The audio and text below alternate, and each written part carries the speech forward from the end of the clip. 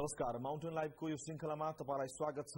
म वीरेन्द्र केसी। माउन्टेन टेलिभिजनबाट हामी दैनिक रूपमा यो माउन्टेन लाइभ अन्तर्गत रहेर विभिन्न विषयवस्तुमा रहेर हामी छलफल गर्ने गर्छौँ। त्यो विषयवस्तुको गहिराईसम्म पुग्ने गर्छौँ र सरकारवाला व्यक्तित्वहरूसँग कुराकानीका साथमा यो श्रृङ्खलाहरू हामी यहाँ प्रस्तुत गर्ने गर्छौँ। जसरी आज हामी चुनावका चुनौती सुरक्षा चुनौती लगायतका विषयमा रहेर केन्द्रित भइरहेका छौँ र जसरी संविधान सभाको दोस्रो निर्वाचनको मिति घोषणा भइसकेको छ। घोषणा पश्चात निर्वाचन आयोगले आफ्नो ढङ्गले तयारी पनि गरिरहेको छ। त्यो बीचमा सुरक्षा निकै नै महत्वपूर्ण विषय हो। एउटा उम्मेद्वारदेखि लिएर निर्वाचनमा सहभागी हुने मतदाता पर्यवेक्षकदेखि लिएर निर्वाचनको कार्यक्रममा सहभागी हुने सबैलाई एउटा सुरक्षित माहौलमा आफ्नो मताधिकार प्रयोग गर्न पाउने र त्यो चुनावी कार्यक्रममा भाग लिन पाउनुपर्ने उसको अधिकारको रक्षाको लागि पनि सुरक्षाको व्यवस्था अत्यन्त सहज व्यवस्थित र मजबुत हुन जरुरी छ हामी यस विषयमा थप कुराकानी गर्नको लागि यतिखेर हामी स्टुडियोमा निम्ति आएका छौँ सशस्त्र प्रहरीका पूर्व प्रहरी महानिरीक्षक सनत कुमार बस्नेतज्यूलाई र उहाँसँग हामी आजको यो श्रृङ्खलामा हामी कुराकानी गर्दैछौँ बस्नेतज्यू यहाँलाई स्वागत छ जस्तो मैले केही भूमिका पनि बाँधे जस्तो चुनावको मिति घोषणा भइसकेका छ यो बीचमा एउटा मतदातादेखि लिएर मतदान कार्यक्रममा र निर्वाचन कार्यक्रममा सहभागी हुनेलाई एउटा सुरक्षाको उचित महसुस आफूले गर्न पाउनुपर्ने हुन्छ होइन? अहिले यो निर्वाचनमा तपाईँले ढङ्गबाट तयारीहरू भइरहेको पाउनु भएको छ। तयारीको दृष्टिकोणले हेर्दाखेरि म नजिकबाट हेरिराखेको छु तयारी राम्रै भइराखेका छन्। त्योभन्दा पनि जरुरी एउटा अर्कै अलिकति नयाँ कोणबाट यसलाई हेरौँ। त्यो के भने देश एउटा लामो संक्रमण कालबाट गुज्रिराखेको छ। संक्रमण कालको नाममा यो देशमा अथवा हामी सबैले जानी वा नजानी धेरै चाहिँ नियमभन्दा बाहिरका अथवा चाहिँ संक्रमणकाल त हो नि भनेर गर्नेले पनि र जसले यसलाई ट्र्याकमा ल्याउनु पर्थ्यो तिनले पनि संक्रमणकालको छाता ओढेर चाहिँ हामीले यसलाई इजी लिइदियौँ। त्यसले गर्दा एक किसिमको चाहिँ नि बुझाइ कस्तो छ भने जे गरे पनि हुन्छ भन्ने किसिमको जुन संस्कृति सृजना भएको छ त्यो संस्कृति चाहिँ सबैभन्दा ठुलो चुनौती जस्तो लाग्छ मलाई। अथवा त्यो मनोवैज्ञानिक सोच अथवा त्यो विचार जुन मान्छेमा आएको छ हामी सबैमा त्यो चाहिँ एउटा सबभन्दा ठुलो चुनौती हो जस्तो लाग्छ। सुरक्षा निकायले गर्ने सरकारले गर्ने अथवा सरकार पनि सुरक्षा निकाय पनि सरकारकै अङ्ग हो। सरकारले निर्वाचन आयोगले जनताले गर्नुपर्ने कामहरू चाहिँ मेरो विचारमा सबैले आफ्नो ठाउँबाट तयारी गरिराखेको बुझेको छु। तर जुन किसिमको माहौल जस्तो भन्नुहोस् न तपाईँले एउटा कुरो के हेर्नुहोस् भने चौसठी सालको निर्वाचन जानु जाने बेलामा हुन त दुई पटक मिति सर्यो नसरेको होइन। त त्यति गरिरहँदा पनि पुरै टोटल चाहिँ जनमानसमा निर्वाचनमा एक किसिमको चाहिँ तयारी मानसिक रूपमा तयारी माहौल बनिसकेको अवस्था थियो। आजको अवस्था चाहिँ के छ भने अहिलेसम्म पनि जिम्मेवार राजनीतिक दलका नेताहरू साथीहरूबाट पनि कस्तो भने हुन्छ कि हुँदैन।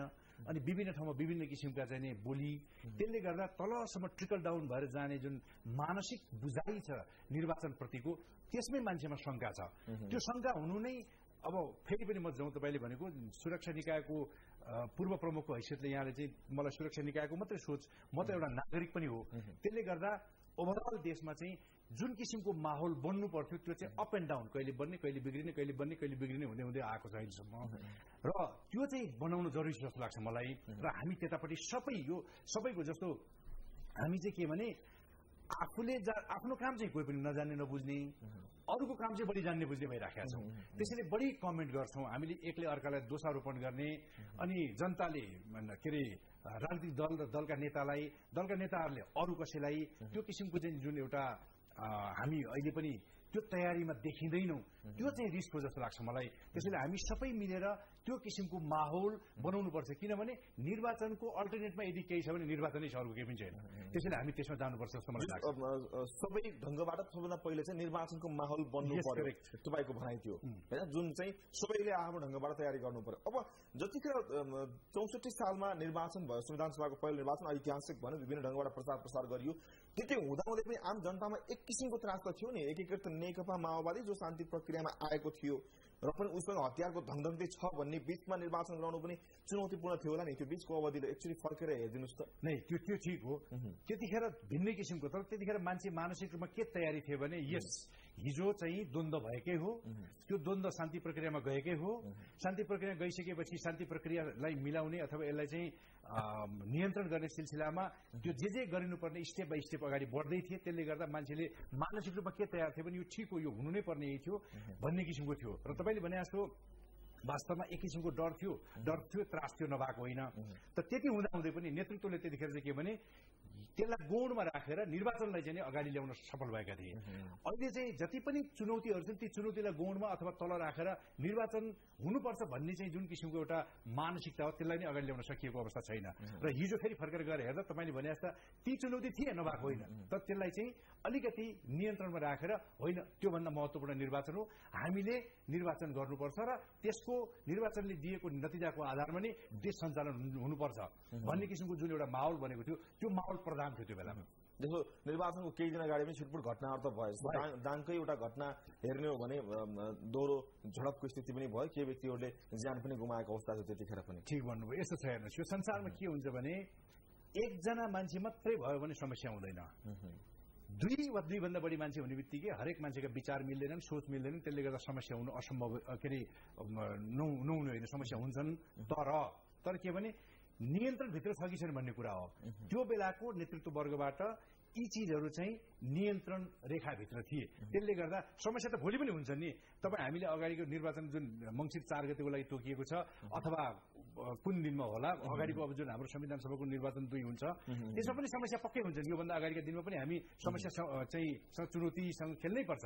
आज जुन सुरक्षा निकायले अथवा सरकारले योजना बनाउँछ त्यो योजना चाहिँ नै त्यही नै सधैँको एउटा फर्मेटेड हुँदैन। त्यसमा एमेन्डमेन्ट हुँदै जान्छ समयानुकूल परिवर्तन हुँदै जान्छ। त्यसैले भोलिका दिनमा पनि तर अहिले बसेर अन्दाज गर्न सक्नु पर्यो। कस्ता कस्ता किसिमका चुनौती आउन सक्छन् र त्यस्ता चुनौतीलाई कसरी सामना गर्ने भन्ने अन्दाज गर्न सक्नु पर्यो त्यो अन्दाज चाहिँ घटनाक्रमहरूलाई अध्ययन गरेर गर्नुपर्छ।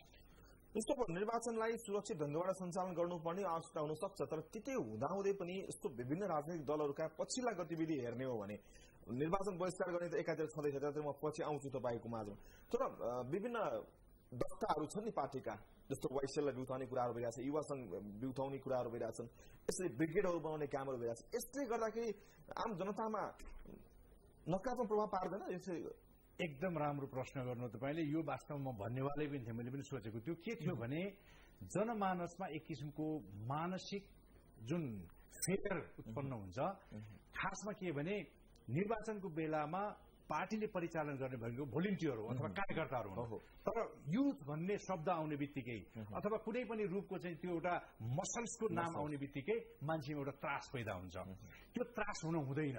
साइकोलोजिकल त्रास जुन आउँछ त्यो नै सुरक्षाको सबैभन्दा ठुलो चुनौती हो। त्यसैले म के सुझाव दिन चाहन्छु भने एउटा पूर्व सुरक्षा प्रमुखको हैसियतले म के सुझाव दिन चाहन्छु भने जवान युथ अथवा कुनै पनि किसिमको चाहिँ नि के अरे परिचालन अथवा जसले चाहिँ पाखुराको शक्तिको तपाईँलाई संकेत गर्छ बलको संकेत गर्छ त्यो बलको संकेत गर्ने आवश्यक पऱ्यो भने राज्यले गर्छ।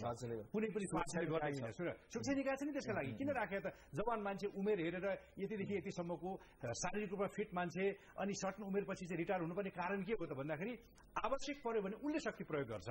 शक्ति प्रयोग गर्नको लागि त राज्यले राखेको हुन्छ नि त जो तटस्थ हुन्छ। त्यसैले उसले गर्नुपर्ने काम पनि राजनैतिक दलका मसल्सहरू बलिया बाङ्गा ठुला तिरा भएका ठुला पाखुरा भएकाले गर्ने भन्ने जुन एउटा मेसेज जान्छ तल त्यो मेसेजले नराम्रो चाहिँ तल साइकोलोजिकल प्रभाव दिन्छ। त्यसले गर्दा मान्छेमा एउटा त्रास एउटा चाहिँ इन्सिक्योर फिल अथवा असुरक्षित चाहिँ सोच आउँछ। त्यसले गर्दा मान्छेमा अनि शङ्का उपशङ्का हुने अनि ए हुन्छ कि हुँदैन निर्वाचन? के हो? कसो भन्ने त्यस किसिमको चाहिँ जुन शङ्का उपशङ्का आउँछ त्यसैले हो माहौल बिगार्ने। त्यसै त्यस्ता किसिमका समाचार दिने किसिमको कुनै पनि एक्सन राजनीतिक दलका साथीहरूबाट पनि हुनुहुन्न। राजनीतिक दलकै जिम्मेवार व्यक्तिबाट यी गलत क्रियाकलाप भइरहेछन् भनेर बुझ्न सक्ने अवस्था भयो। राजनीतिक दलहरू संयमित हुनु पर्यो सबैभन्दा महत्वपूर्ण कुरा। किनकि अब एउटा पार्टीले अर्को पार्टीका अवस्थालाई सिद्धाइदियो भन्ने ढङ्गबाट पनि केही जिम्मेवार नेताले अभिव्यक्ति दिनुभएको छ। यसले गर्दा त आन्तरिक रूपमै किचलोमा फस्ने आन्तरिक झडप हुने दुर्गामी असर त फेरि निर्वाचनलाई पार्छ यसले। राइट एकदम तपाईँले ठिक भन्नुभयो। त्यो के भने त्यही म भने सफ्ट हुनु पर्यो उहाँहरूको बोली पनि सफ्ट हुनु पर्यो उहाँहरूको व्यवहार पनि सफ्ट हुनु पर्यो। र बोली र व्यवहार सफ्ट हुने बित्तिकै त्यो चाहिँ राजनीति जस्तो राजनीति हो। तर अब बलियो बाङ्गो एकदम चाहिँ पाखुरा र मसल्सका कुरा गर्ने बित्तिकै त्यसले नराम्रो सन्देश दिन्छ। अनि फेरि के भने नाजायज तरिकाले बलिया मान्छे जम्मा गर्नतिर लागिन्छ। अनि गलत कामहरू हुन थाल्छन्। अनि मेरोले गरेको ठिक अरूले गरेको बेठिक भनेर त्यसलाई छोप छोप्नुपर्ने हुन्छ। यसो गर्दै जाँदाखेरि यसको एन्ड हुँदैन। अनि यसले माहौल बिगार्दै जान्छ। त्यसैले गर्दा म के सुझाव दिन चाहन्छु भने सबैजना मिलेर एकपटक थिङ्क गरिदिउँ सोचिदिउँ। यसरी तलसम्म नराम्रो मेसेज अथवा फेयरको डरको मेसेज जानु भनेको चाहिँ यसले माहौल बिग्रिनु हो। भोलिको लागि निर्वाचनको चाहिँ वातावरण नबन्नु हो।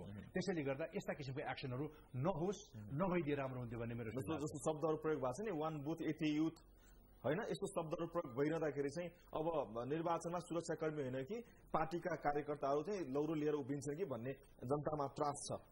मैले यहाँलाई अघि पनि भने त्यो काम यदि कुनै ठाउँमा हुन त त्यति भइ गरिरहँदा पनि त्यहाँ केही अलिकति फटा बदमासहरू नहुने होइन। समाजमा हेर्नुहोस् दसजना मान्छे भएपछि कोही साधु होलान् कोही असल मान्छे कोही खराब मान्छे कोही चोर होलान् कोही लुच्चा होलान् कोही असल मान्छे होलान्। त त्यस्तो भएपछि त्यस्तो के हुन्छ तर ओभरअल माहौल पर्सेन्टेज मान्छे असल मान्छे भएपछि त्यहाँ एका दुई भनेको त्यो गौण हुन्छ। अनि त्यस्तो किसिमको सानातिना क्रिमिनल एक्टिभिटिज र अरू बेनियमका नियमभन्दा बाहिरका कुराहरू नियन्त्रण गर्ने भनेको सुरक्षा। त्यसैका लागि हो सुरक्षा निकाय। त्यसैले यस्तो बल प्रयोग गर्नुपर्ने थुन्नुपर्ने नियम सम्मत त्यसलाई चाहिँ जेल हाल्नुपर्ने यी सबै काम गर्ने सुरक्षा निकाय मार्फत हुन्छ अथवा सरकारका मेसिनरी मार्फत हुन्छ।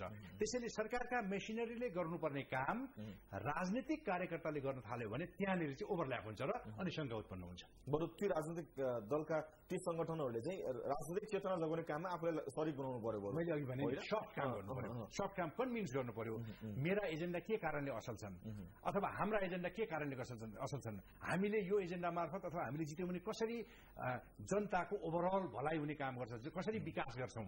भन्ने किसिमका थिङ्किङ थिङ्कर टाइपका एजेन्डाहरू चाहिँ उहाँहरूले दिने हो। अनि मसल्स प्रयोग गर्नुपर्ने काम चाहिँ सरकारले हो राज्यले हो। त्यसैले त्यो काम सरकारले आफ्नो आफ्नो काम।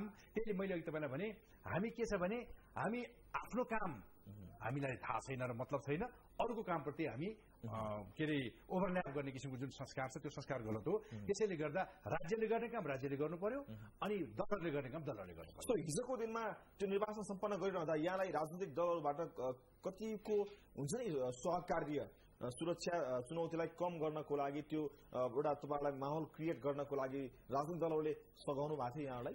होइन सघाउनु त यसो भनिरहँदा फेरि सबै खराब त मैले भन्नु खोजेँ कहाँ हो र?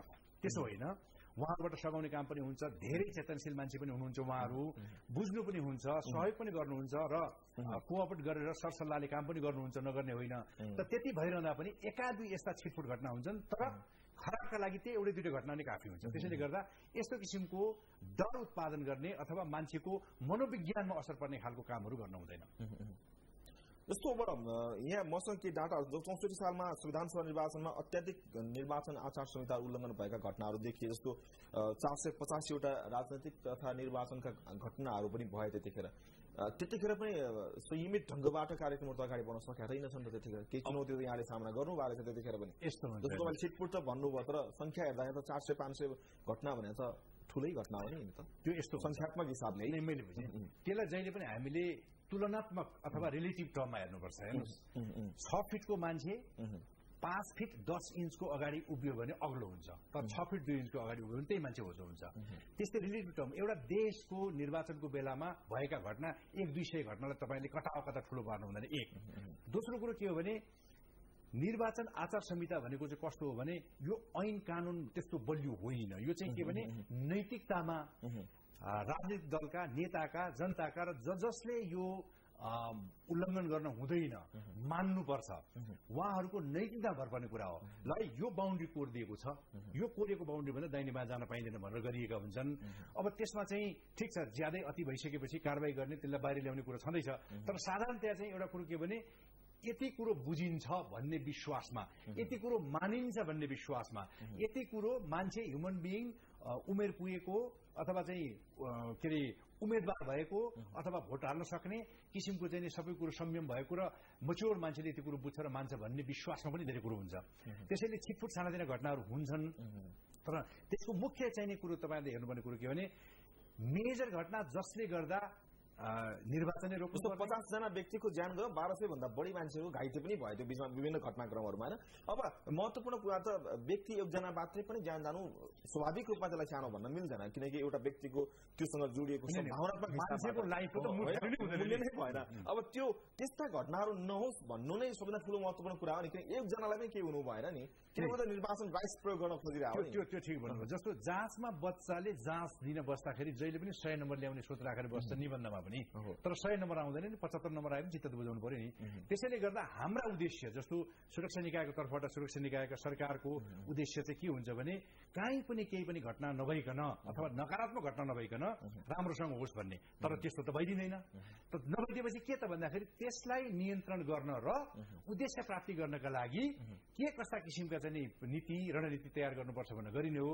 त्यस कारणले गर्दा जिरो चाहिँ इन्सिडेन्टमा घटना भनेको त समाज रहेसम्म मलाई हुन्छ जस्तो लाग्दैन। त्यो विकसित देशमा पनि हुन्छ जस्तो लाग्दैन। जस्तो अब यो घटनाहरू जुन भएका छन् यी घटनाहरू राजनैतिक क्रियाकलापमा भएका छन् अथवा चाहिँ आपराधिक गतिविधिहरू हुने यसलाई कसरी हेर्न अब सकिन्छ यो समाजमा क- कस्ता व्यक्तिको संलग्नता मैले त्यो चाहिँ यस्तो हुन्छ। थिन एउटा चाहिँ हेयर लाइन अथवा कपालको लाइन तानेर छुट्याउन बडा गाह्रो हुन्छ। किनभने त्यही व्यक्ति राजनीतिक व्यक्ति पनि हुन्छ त्यही व्यक्ति क्रिमिनल व्यक्ति पनि हुन्छ त्यही सर्वसाधारण व्यक्ति पनि हुन्छ। समाजमा सबै ठाउँमा कुनै न कुनै रूपमा त्यो एलिमेन्ट चाहिँ काम गरिराखेको हुन्छ। त्यसैले गर्दा त्यो त अनुसन्धानपछि धेरै बेरपछि पत्ता लाग्ने। सकेसम्म फेरि कति क्रिमिनल एक्टिभिटिजलाई पनि राजनीतिक कभर दिइन कोसिस गरिएको हुन्छ। त्यसैले सुरुमा देख्ने बित्तिकै यसलाई चाहिँ राजनीतिकै हो भन्न पनि सकिँदैन। क्रिमिनलै हो भन्न पनि सकिँदैन। त्यसैले ती सब चिज चाहिँ अनुसन्धानबाट छुट्याइने कुरा हो। तर एउटा कुरो के हो भने अहिले हाम्रो जुन किसिमको यो संक्रमण कालले नियम उल्लङ्घन गर्ने किसिमको संस्कार बसेका छन् त्यो संस्कारले चाहिँ अवश्य पनि त्यतापट्टि बढी उन्मुख गरेको छ मान्छेलाई अथवा क्रिमिनल एक्टिभिटिज गर्नेतिर बढी उन्मुख गर्न खोजेको देखिन्छ। राजनैतिक राजनैतिक आवरणमा यस्तो भन्नु खोज्यो भने संरक्षण गर्ने प्रवृत्ति पनि त्यत्तिकै बढिरहेको छ। त्यही संरक्षणका कारणले नै यस्तो प्रवृत्ति। अनि फेरि त्यहाँ पनि झुटो बोलिन्छ। अब गरिन्छ क्रिमिनल एक्टिभिटिज अनि भनिन्छ राजनीतिक कारणले भएको भनेर। अनि तत्काल आफ्नो चाहिँ नि के अरे कार्यकर्ताको प्रोटेक्सनको लागि केही बोलिदिनु पर्ने हुन्छ। त्यो बोलेपछि उसको मनोबल बढ्छ। यसो हुँदै हुँदै हुँदै हुँदै गएको हो। तर के भने अनुसन्धान गरिसकेपछि सरकारले अथवा चाहिँ न्यायिक निकायहरूले त्यसलाई चाहिँ के कस्तो किसिमको चाहिँ न्यायिक दण्ड दिनुपर्ने सजाय दिनुपर्ने अथवा त्यो त्यो चाहिँ नि गरिराखेको अवस्था छ। जस्तो निर्वाचनमा सुरक्षाको तयारी गर्दा हामीले लिस्टिङ गर्दाखेरि अब कति भन्न मिल्ने होला कति नहोला तर पनि खतरा यो योबाट छ है भन्नेमा चाहिँ पहिलो नम्बरमा आउने भनेको चाहिँ राजनैतिक दल नै हो कि जस्तो लाग्छ मलाई? हो तपाईँहरू के लाग्छ? होइन अब यसो छ। हामी एउटा संस्कार के छ भने जसरी भए पनि भन्ने जुन शब्द छ त्यो चाहिँ मेरो विचारमा डिक्सनेरीबाटै हटाइदिनुपर्छ नेपालको। किनभने अब हामी के भन्छ हामीलाई कुनै पनि काम गर्नु पर्यो अथवा भनौँ एउटा भर्नाको कोही सिपाहीको भर्नाको लागि भनेको कसैले भने ए त्यो चाहिँ जसरी पनि होस् है। अनि कोही सरुवा गर्नु पर्यो जसरी भए पनि होस् है। अब अहिले निर्वाचनमा जित्नु पनि जसरी भए पनि जित्नुपर्ने भन्ने जुन संस्कार छ जसरी भए पनि होइन नियमसम्मत तरिकाले जनतालाई कन्भिन्स गरेर राम्रो एजेन्डा ल्याएर बुझाएर मेहनत गरेर दुःख गरेर सबै ठाउँमा पुगेर सबैलाई भेटेर सबैलाई कन्भिन्स गरेर पो हो त। जसरी भए पनि त हुँदैन नि। त्यसैले त्यो जुन जसरी भए पनि भन्ने संस्कार छ हो त्यो संस्कार चाहिँ मेरो विचारमा माथिदेखि तलसम्म हामी सबैले छोड्नुपर्छ। त त्यो त्यस्तो किसिमको गलत र जसरी भए पनि भन्ने संस्कार रहेसम्म यस्ता किसिमको घटना घटिरहन्छन् उम्, जस त मैले अझै प्रश्न खोजेँ जस्तो बढी चुनौती भनेको कहाँबाट हुन्छ भने जस्तो आपराधिक गतिविधिमा लाग्ने व्यक्तिहरूले चुनावमा असर पार्छन् भन्ने हुन्छ अथवा राजनीतिक दलकै कार्यकर्ताहरूबाट त। हुन सक्ने जोखिम हुन्छ मैले त्यो। तपाईँले बुझिहाल्नुभयो कि भन्नु भनेको। जुन जसरी भए पनि भन्ने संस्कार छ। जसरी जसरी पुष्टि गर्नको लागि चाहिँ त्यो- संस्कार चाहिँ सुन्नुहोस् अब त्यही त त्यो जसरी भए पनि गर्नको लागि चाहिँ मसल्स प्रयोग गर्ने मनी प्रयोग गर्ने झुटो मुटो सबै प्रयोग गर्ने सबै गर्ने गर्दा गर्दै के भने भन्ने बेलामा आफूले गरेको कामहरू चाहिँ गलत होइन भन्ने गर्ने तर गर्नु चाहिँ त्यस्ता काम गरिराख्ने। त्यसैले हामीले कन्भिन्स गरेर जितौँ अथवा आफ्ना एजेन्डालाई चाहिँ बाहिर ल्याएर जितौँ अथवा आफ्ना प्रोग्रामलाई बाहिर ल्याएर जितौँ भन्ने किसिमको राजनीतिक संस्कार हुनु पर्यो। जसरी भए पनि भन्ने किसिमको संस्कार हुनु भएन। त्यसैले अब यीबाट भन्नाले मैले राजनीतिक पार्टीलाई मात्रै नभनौँ तर जे भए पनि तपाईँको प्रधान त त्यही राजनीतिक पार्टी हो नि त। जे भए पनि त्यसैको वरिपरिमा घुम्छ त्यही व्यक्ति र त्यही के अरे उम्मेद्वारको वरिपरि घुम्छ। त्यसैले गर्दा अनि सुरक्षाका चुनौती पनि त्यसैका वरिपरि छन् नि त हो त्यसैले गर्दा त्यो जसरी भए पनि म फेरि पनि अब तपाईँले अब चाहिँ बुझ्नुहुन्छ होला जसरी भए पनि भन्ने संस्कार हटाउने बित्तिकै समस्या धेरै कम भइहाल्छ राम्रो शब्द प्रयोग गर्नुभयो कि यहाँले मैले खासमा आम सर्वसाधारण तपाईँले भनेको कुरा प्रश्नसँग बुझौँ भनेर मैले दोहोऱ्याइदिएको जसरी भए पनि भन्ने शब्दलाई त्याग्नु। पर्यो पर्यो करेक्ट ताकि जसरी भनेपछि त्यसले अवैधानिक काम पनि गर्न लगाउने भयो त्यसले त। एउटा नियम सङ्कटबाट त हुने भएन भने प्रष्ट पारिदिन्छ। त्यसरी बुझिन्छ नि जसरी भए पनि नियम सम्मत हुनु पर्यो कानुन सम्मत हुनु पर्यो मर्यादित हुनु पर्यो आचार संहिताभित्र हुनु पर्यो अनि कन्भिन्स गर्नु पर्यो आफ्नो प्रोग्रामले मान्छेलाई सम्झाउनु पर्यो। त्यो पो भन्नु पर्यो तर जसरी भए पनि भन्ने बित्तिकै यो सबै छोडेर तानेर ठेलेर पेलेर आफै एक्लै छाप लाएर भन्ने कुरा आयो नि त। त्यसैले त्यो जसरी भए पनि भन्ने जुन हाम्रो संस्कार त्यहाँ मात्रै होइन। अन्त पनि छ अहिले। त्यसैले त्यो त्यो संस्कार चाहिँ हामीले हटाउनुपर्छ र म आज अब बाहिर कुरा उठिहाल्यो भाइलाई के पनि रिक्वेस्ट गर्छु भने यस्तो किसिमको संस्कार चाहिँ हटाउनुपर्छ र हामी सबैजना नियम सम्मत बन्न कोसिस गर्नुपर्छ। हस् तपाईँलाई म एकैछिन रोक्छु म ब्रेक कुरा रोकिन्छु। दर्शकहरू हामी यहाँले कुरा गरिरहेका छौँ निर्वाचनमा सुरक्षा चुनौती र सम्बन्धित पाटोहरूमा रहेर सशस्त्र प्रहरीका पूर्व प्रहरी महानिरीक्षक सनत कुमार बस्नेत स्टुडियोमा हुनुहुन्छ लाइभ कुराकानीको लागि। हामी एकैछिन ब्रेकको लागि रोकिन्छौँ। ब्रेकपछि ऱ्यापिड न्युज हुन्छ त्यसपछि फेरि यो कुराकानीलाई कन्टिन्यू गर्छौँ। यो रिपोर्ट तपाईँलाई देखायौँ सुरक्षाका चुनौतीहरू निर्वाचनमा के कस्तो हुन सक्छ भन्ने विषयमा अलिकति हामीले केन्द्रित बनेको रिपोर्ट देखाएका थियौँ फेरि हामी कुराकानीलाई कन्टिन्यू गर्छौँ हामीसँग सशस्त्र प्रहरीका पूर्व प्रहरी महानिरीक्षक सुनत कुमार बस्नेतजी हुनुहुन्छ बस्नेतजी यहाँलाई पुनः स्वागत छ धन्यवाद जस्तो हामीले के एउटा रिपोर्ट पनि देखायो तपाईँले हेर्नु पनि भयो अब यो बिचमा यो दोस्रो संविधान सभा निर्वाचनमा यहाँले देख्नुभएका सुरक्षा चुनौतीहरू के के हुन सक्छन् कहाँ कहाँबाट चाहिँ खतरा हुन सक्छ अब क्याटेगोरिकली भन्नुपर्दा सबभन्दा पहिला त अहिले जुन बाइकट गर्ने राजनीतिक शक्ति छ त्योबाटै सबभन्दा ठुलो थ्रेट देखिन्छ। बहिष्कारको चेतावनी त्यसपछि आएर criminalization of politics politicization of criminal त्यो किसिमको जुन छ त्यो छ। त्यस्तै आएर तराईमा आम ग्रुप त्यत्तिकै दस बाह्रवटा एक्टिभ छँदैछन्। तिनले पनि थ्रेट दिइराखेको अवस्था छ। अनि केही चाहिँ के अरे माओवादी कम्बेटेन्ट जो चाहिँ नि समायोजनमा परे। त्योभन्दा बाहेकका जो बाहिर गएका छन् त्यसमा पनि भएन अयोग्य भनेर छोडि बाहिर पठाइनेछ ती छँदैछन् फेरि के छ भने यो संक्रमण कालको फाइदा उठाएर थुप्रै स्मल आर्म्स चाहिँ विभिन्न नहुनुपर्ने ठाउँमा। जुन ठाउँमा हुनुपर्ने सरकारी निकाय अथेन्टिक र वैधानिक त्यो भन्दा बाहेक लुकी छिपी थुप्रै ठाउँमा भएको तथ्यहरू फेला परेका छन्। ती पनि भए। यिनै त्यस्तै आएर यो सब किसिमको अब त्यस्तै आएर इथेनिक कुराहरू पनि आएका छन्। त्यो पनि गाँसिन त कतै न कतै राजनीतिसँगै गाँसिएर आएको छ तैपनि त्यो आएको छ। अब पूर्वमा पनि अहिले यतिखेर त अलि मत्थर छ तर पूर्वका जिल्लाहरूमा पनि जुन नौवटा जिल्लाहरूमा थियो ती पनि आफ्नै इथेनिकका आफ्नै किसिमको चाहिँ दावीहरू छन् र बेला बखतमा उठाइराखेका छन्। र एउटा नयाँ किसिमको अर्को के छ भने टिकट बाँड्ने क्रममा टिकट नपाएका असन्तुष्टहरू पनि फेरि त्यही उसमा बगेर जान्छन्।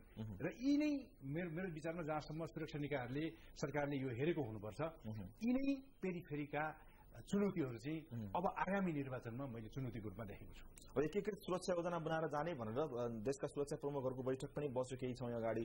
अब त्यो सुरक्षा योजना बनाएर गइरहँदा यी चुनौतीहरूलाई सामे पार्न अहिलेको शक्ति अहिलेको हामीसँगको सुरक्षा व्यवस्था र शैलीले सम्भव देख्नुहुन्छ? के छ?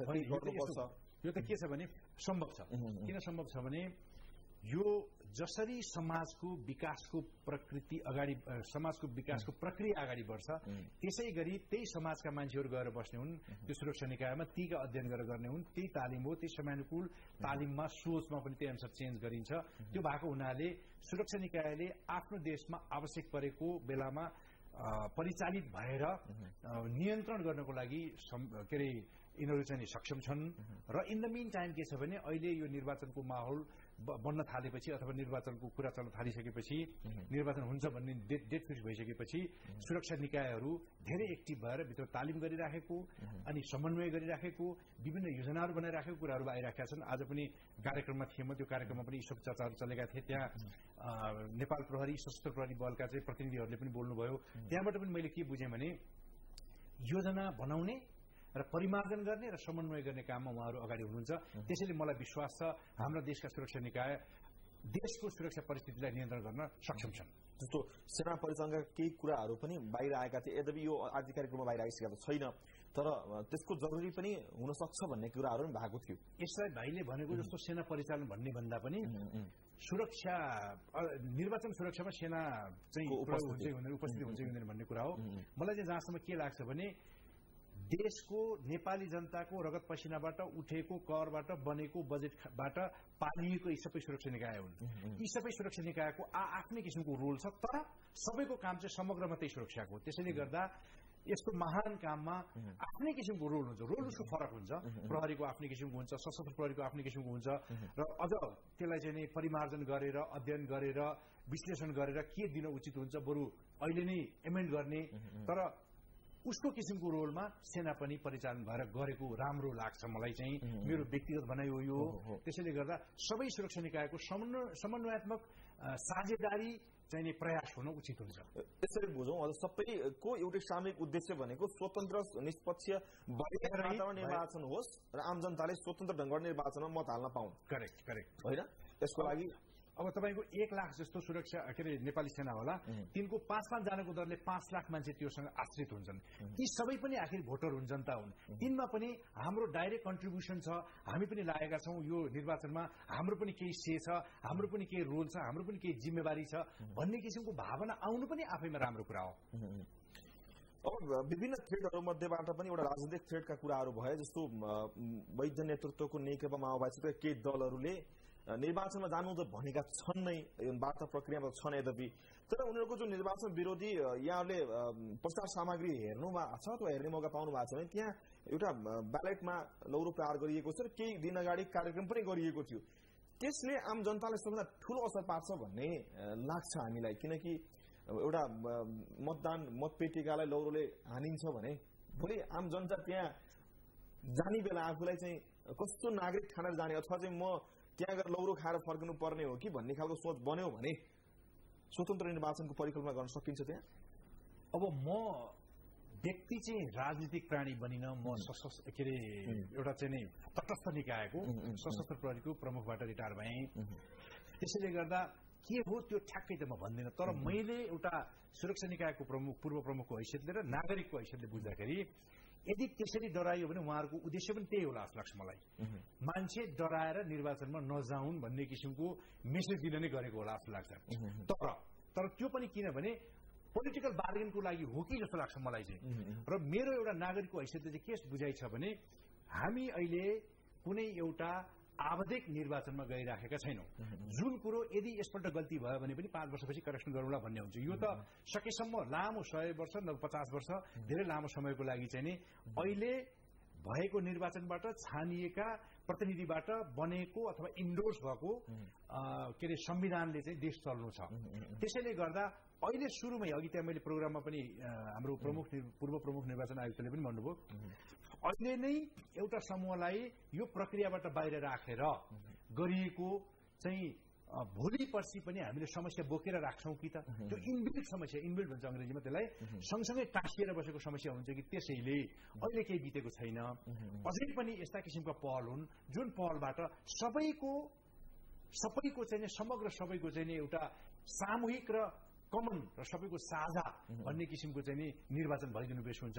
अब त्यसको लागि के गर्न सकिन्छ के गर्न सकिन्न के गर्नुपर्छ भन्ने कुरो उहाँहरूले निर्णय गर्ने कुरो हो। तर म एउटा नागरिकको हैसियतले चाहिँ सबै समेट्नु उचित हुन्छ जस्तो लाग्छ। जस्तो एउटा आम नागरिक चाहिँ आफू ढुक्क भएर निर्वाचनमा जान सक्ने वातावरण बन्नु पर्यो कसैबाट ठेट हुनु यसैमा अब तपाईँलाई लिङ्क लिङ्क गरौँ। त्यसैले त्यो राजनीतिक उद्देश्य प्राप्तिका लागि उहाँहरूबाट त्यस्तो भएको होला। यदि यो समस्या राजनीतिक रूपमा समाधान भयो भने त्यस्तो समस्या आउँछ मलाई लाग्छ जस्तो म चुनावमा सहभागी हुन पाउन अथवा मैले भोट हाल्दैन भन्ने एउटा व्यक्तिको राइट्स हुनसक्छ उसले म हाल्दैनमै भन्न सक्छ उसले। एउटा अथवा गएर पनि मतपत्रमा बदर गरेर पनि आफ्नो असन्तुष्टिहरू त पोखिरहेका हुन्छन् आम जनताले। तर म निर्वाचनमा सहभागी हुन्छु भनेर जान्ने त सुरक्षाको मजबुत व्यवस्था त राज्यले सुरक्षा निकाय सुरक्षा संयन्त्रले त गराउन सक्नुपर्छ। पर्छ। होइन त्यो त के भने यति गरिरहँदा पनि कुनै पनि रूपबाट अथवा एकदमै एक्सट्रिम जुन कुरो चाहिँ माग पुरै गर्न नसकिने किसिमको माग छ भने त्यसपछि सोच्ने होला। तर अहिले त भर्खरै डिबेट चलिरहेको अवस्था छ। त्यसले गर्दा मेरो विचारमा राजनीतिक इस्युजहरू एड्रेस भएर सबै नेपाली जनताले साझा रूपमा भाग लिने किसिमको हुनुपर्छ। त्यो हुने बित्तिकै धेरै यस्ता तपाईँले भनेका जस्ता लट्ठीका समस्या निर्वा ब्यालेट बक्स फोड्ने समस्या चाहिँ नै अटोमेटिकली हटेर जान्छन्। अब त्यसको लागि कति पहल भएको छ के पहल भएको छ त्यो त उहाँहरूले जान्ने कुरा हो। म एउटा नागरिकको हैसियतले चाहिँ यसरी पहल भएर सबैको साझा जसरी हामी चौसठी सालको निर्वाचनमा साधारणतया भनौँ न त्यो तपाईँले अघि भनेका एउटातिर बाहेक साधारणतया चाहिँ नि सबै व्यक्तिले यो हाम्रो साझा कमन काम हो साझा काम हो। हामी सबै यसमा चाहिँ नि सहभागी हुनुपर्छ। हामी सबैले भोट हाल्नुपर्छ भन्ने किसिमको जुन एउटा बुझाइ माहौल थियो त्यो किसिमको माहौल बन्नुपर्छ जस्तो मलाई लाग्छ।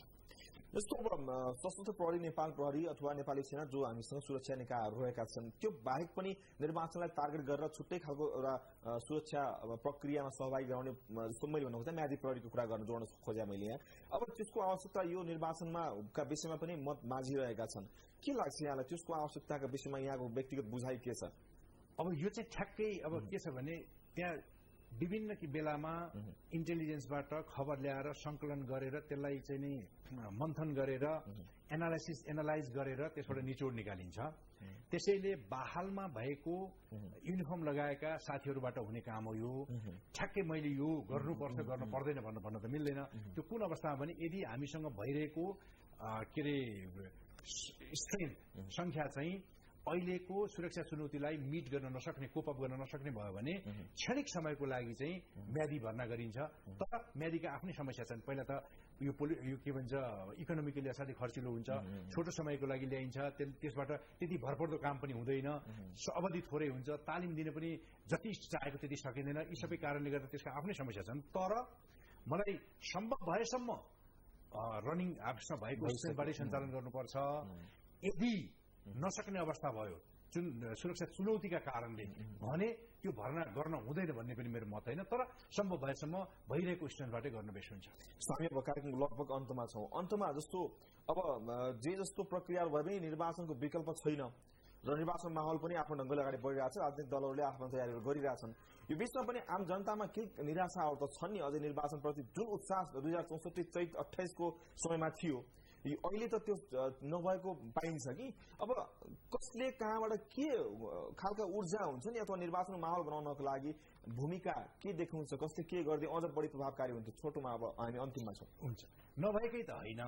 ठ्याम्मै माहौल नभएको होइन। माहौल त बन्दै नै छ। खालि के छ भने अलिकति होला होला जस्तो भने फेरि बिचमा आएर चाहिँ हुँदैन कि भन्ने अनि शङ्का उपशङ्का छन्। त्यसैले गर्दा मलाई जहाँसम्म लाग्छ हामी दुई करोड चौसठी लाख जनता जति छौँ हामी सबैको आफ्नो आफ्नो ठाउँबाट रोल के हो भने अथवा आफ्नो ठाउँबाट देशलाई मुलुकलाई देन कन्ट्रिब्युसन के हो भने निर्वाचन हुने किसिमको माहौल बनाउनुपर्छ। त्यसको लागि राजनीतिक दलको प्रमुख भूमिका हुन्छ प्रधान भूमिका हुन्छ भने बाँकी हामी सबैको पनि छ। म चाहिँ के सुझाव दिन चाहन्छु भने सबै राजनीतिक दलहरूबाट अलिकति प्रचार प्रसारकै लागि पनि मान्छेहरूमा एउटा विश्वास दिलाउनको लागि पनि जस्तो टुँडी खेलमै हुनसक्छ अथवा कुनै पनि एउटा यस्तो ठाउँमा सबै मिडियाहरू राखेर हामी सबै निर्वाचनमा गयौँ हुम्यौँ हुन्छ भनेर सबैजनाको एउटा कमिटमेन्ट देशले चाहेको छ जनताले चाहेका छन्। त्यसैले गर्दा सबैजना मिलेर अझ म त भन्छु ओपन ठाउँमा खुला ठाउँमा ओपन थिएटरमा अथवा टुँडी खेलमा सबै पोलिटिकल पार्टीका प्रमुख प्रमुख नेताहरू सबै जम्मा भएर हामी चाहिँ वास्तवमै गयौँ है। यी शङ्का उपशङ्का नगर्नुहोस्। हामी सबैजना मिलेर जाउँ र यो निर्वाचनको अल्टरनेटमा अर्को केही पनि हुन सक्दैन। निर्वाचनै हो। त्यसले गर्दा जानुपर्छ जानै पर्छ र हामी सब तयार छौँ कमिटेड छौँ। तपाईँहरू पनि तयार हुनुहोस् भन्ने किसिमको एउटा सन्देश आयो भने मलाई जहाँसम्म लाग्छ अब तयार हुँदैछ। धेरै अगाडि बढिसकेका छौँ र निर्वाचनको अर्को विकल्प पनि छैन। हामी जानुपर्छ। त्यो किसिमको माहौल बन्न उचित हुन्छ जस्तो लाग्छ मलाई। धन्यवाद यहाँको महत्त्वपूर्ण समय र विचारको लागि हामी यहाँलाई हार्दिक धन्यवाद दिन्छौँ। थ्याङ्क यू धन्यवाद। दर्शकहरू उहाँ हुनुहुन्थ्यो हामीसँग कुराकानीको लागि सशस्त्र प्रहरीका पूर्व प्रहरी सनत सनत कुमार बस्नेत। उहाँसँग कुराकानी सँगै हामी एकैछिन ब्रेकको लागि रोकिन्छौँ त्यसपछि हेडलाइन्स न्युज हुनेछ। यो कुराकानी भने यही सकिएको छ।